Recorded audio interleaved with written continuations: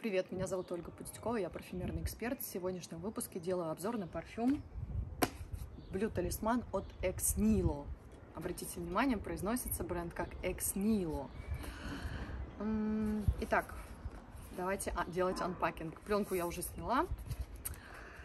Вообще хочу сказать, что данный бренд а, мне ранее не симпатизировал, несмотря на его бешеный хит а, под названием Fleur Narcotique, совсем не мой аромат.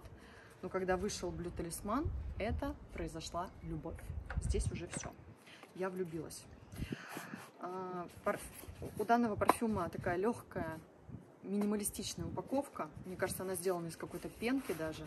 Вот так вот открывается. Здесь в крышке находится паспорт аромата. А, вот такая книжечка. В этой книжечке перечислены альфакторные ноты и, и описание парфюма.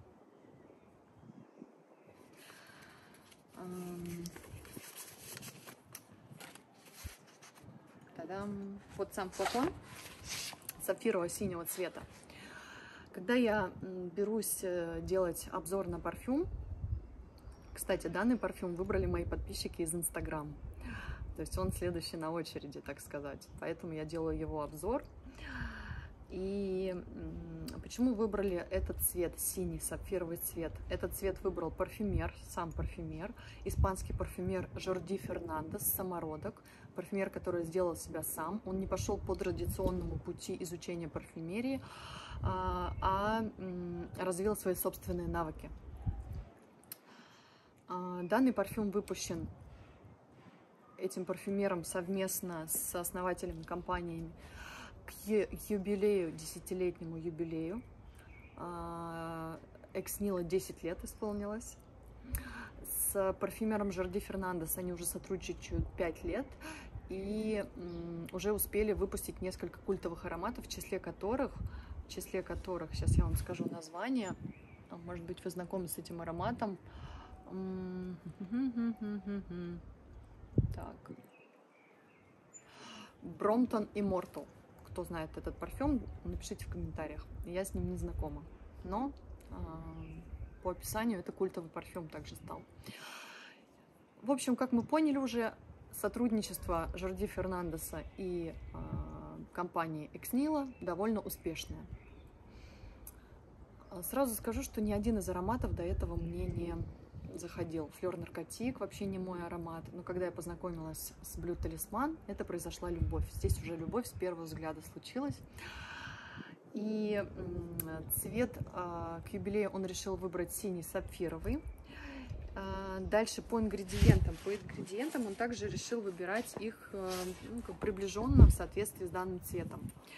Давайте я зачитаю состав. Вот.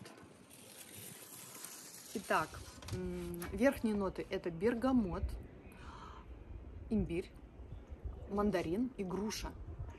Вот грушу обожаю в ароматах.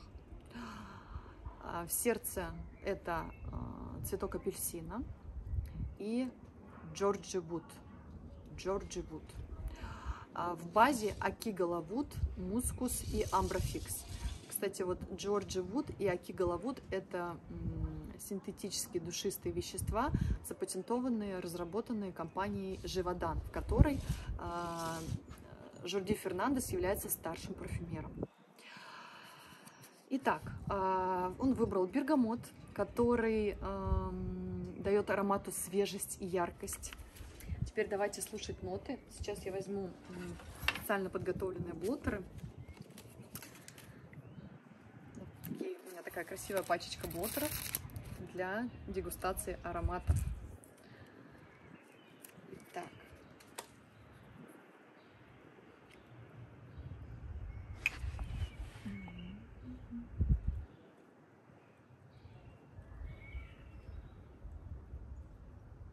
Вообще, когда данный парфюмер разрабатывает ароматы, в основе его концепции всегда лежит благополучие и счастье. Это то, что я сейчас чувствую, когда вдыхаю данный парфюм.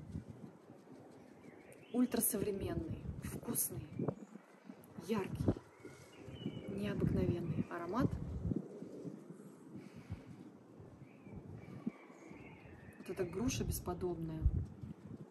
Такая, знаете, как будто бы молекулярная груша. Немножко бергамота чувствую. Потом это все раскрывается в цветке апельсина.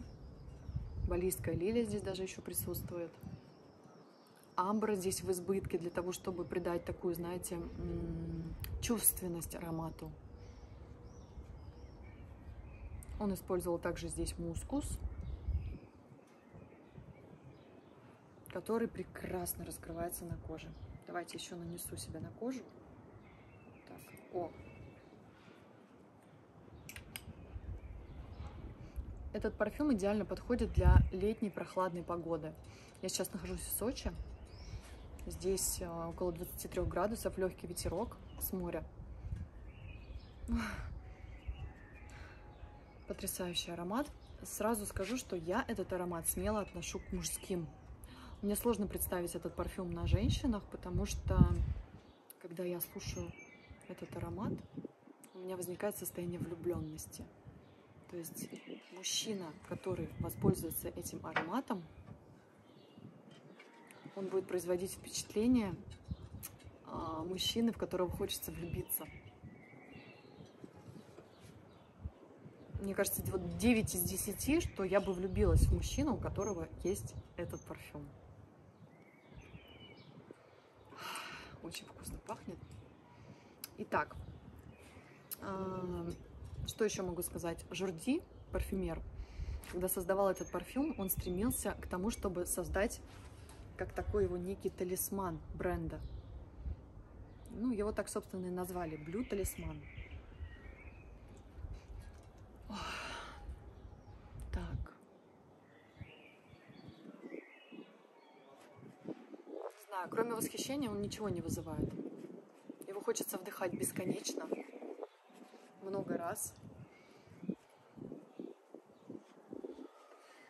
Потрясающий Кснила. Блю талисман. Наконец-то свершилось, я влюбилась в их аромат. Такая красивая упаковка. На крышке здесь такой логотип виднеется. Флакон 100 миллилитров.